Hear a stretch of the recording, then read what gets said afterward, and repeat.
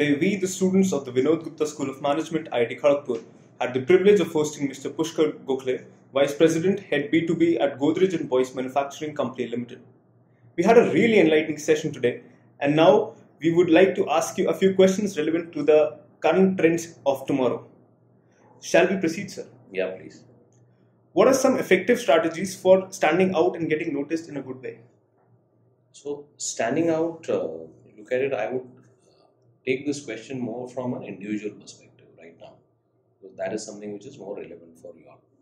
Uh, so, see, one can stand out in different ways, but one of the most effective way one can really do it is by taking initiative, because you know that's one very good way of showing that yes, you have ideas, you have the depth of thought and of course you have the communication skills to really effectively communicate those ideas.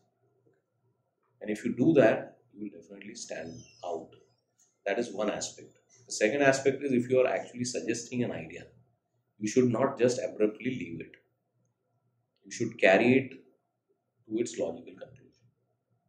And how you can do that is by involving the other stakeholders in the organization who will also come to know that yes here is a man who can actually you know is full of ideas also has execution capability who can involve people. Because in an organization it's all about a team. Any idea? Yes you can be the uh, person who's coming up with that idea.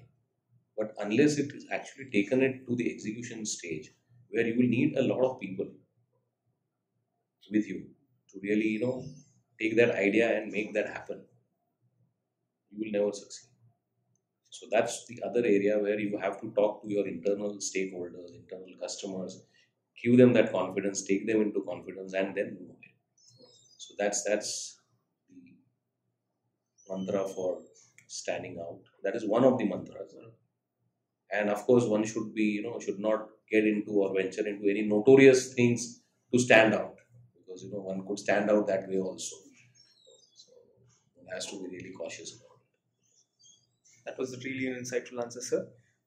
Second, how can we tap the potential that is available in rural India or Bharat and help make the lives better? Yeah, so see, today if you look at it, Bharat is probably much more important than India, or rather, the rural market is much more important and very big, provided you can understand the needs and expectations of that market because those are very different than the urban market. And for that, there is nothing to beat an immersion kind of exercise. Because see, if you go there and just you know do a very very superficial kind of a survey or a feedback, you will never get to the depth of what the market is like or what the needs of rural India are. So for that, you should have a very long term kind of immersion session, which will unfold a lot of things for you. And from there you can actually understand the needs and expectations of that market and then work on a solution. Because see ultimately uh, what matters is what is the kind of value you are adding to those people in the in, in, in Bharat. And for that you need to first create value. To create value you should first know what are the needs and expectations. Only then can you deliver it. So you have to build it into multiple parts. You know, first you understand what they need, then you create value. Then the other aspect is the communication. See, the way in which you communicate in the urban market and the way you will communicate in a rural India are very different. So the moment you immerse yourself, you will also find out as what is the most effective way of communicating with them. Because just creating value is not going to help you to communicate that you have that with you. And then the last aspect is how do you deliver it? So, unless you immerse yourself, you will not learn these final aspects. Otherwise, you will just say, okay, this is what the market needs. But you will never be able to execute it the way in which it is required. Thank you for the answer, sir. And finally, uh, what message would you like to give to the budding managers of the country? So, one message which I would like to give to budding managers is that they have to ask themselves one question whether they are in this game for a short all on a long haul.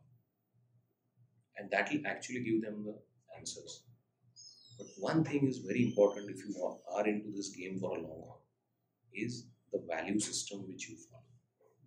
Because today it has become extremely important to follow that value system because we are seeing what is happening in current environment. You, have so many cases which are coming up now. And it's just, you know, greed which is actually, you know, resulting into all this.